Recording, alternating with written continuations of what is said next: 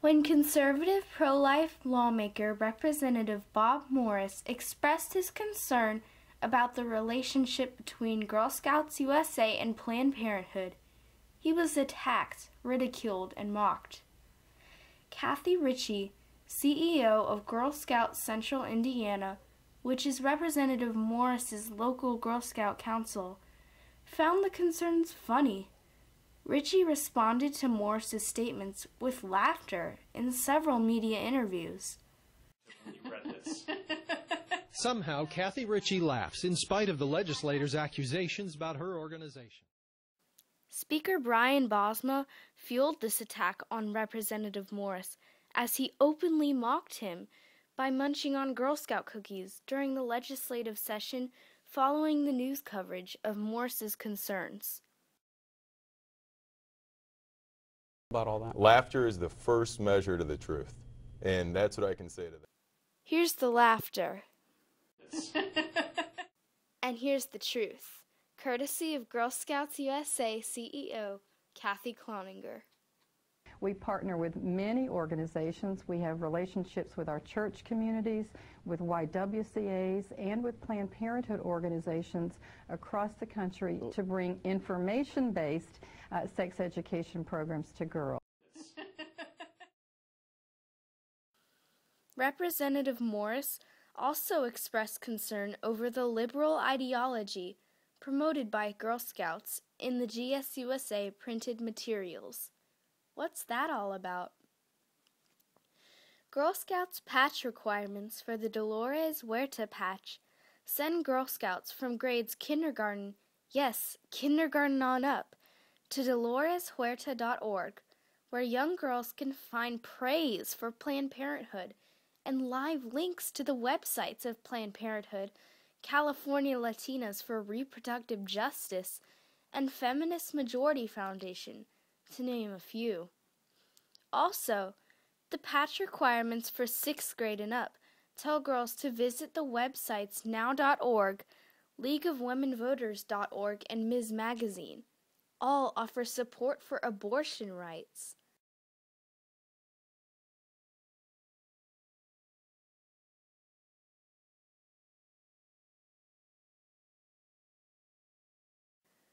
Let's look at the Girl Scouts Journey books for girls. The printed curriculum used and sold by every Girl Scout Council bookstore throughout the United States. The Girl Scouts book called Agent of Change asks fourth and fifth grade girls to work with Sierra Club in a Take Action project.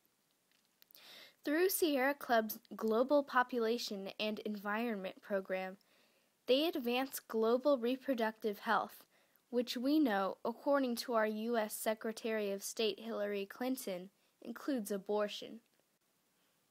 Sierra Club's partners and collaborators in this project include Guttmacher Institute, Planned Parenthood, SIECUS, and many other abortion rights advocacy groups.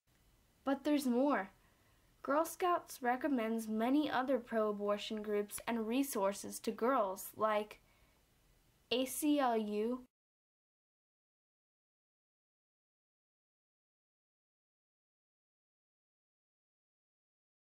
womankind.org,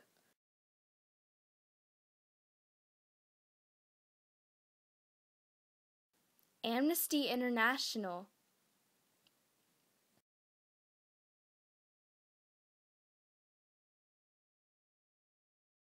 Population Council to name a few.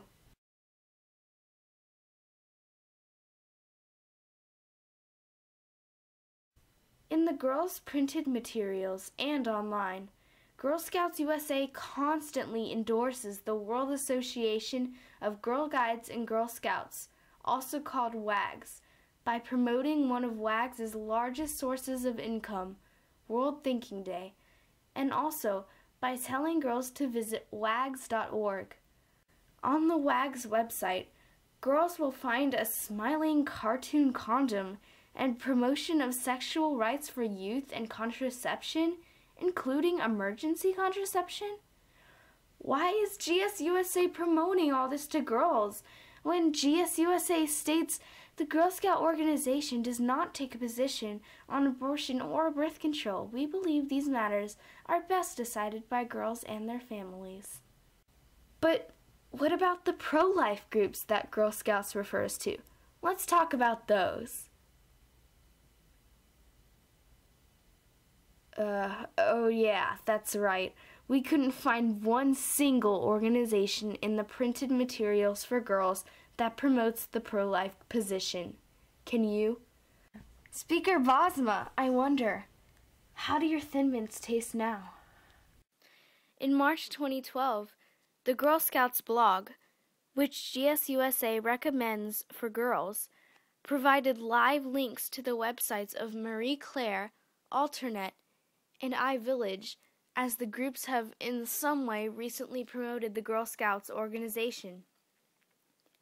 If GSUSA wants to boast that these media outlets are recognizing them, well, okay, but why provide a live link to these websites that contain sexually explicit content to girls?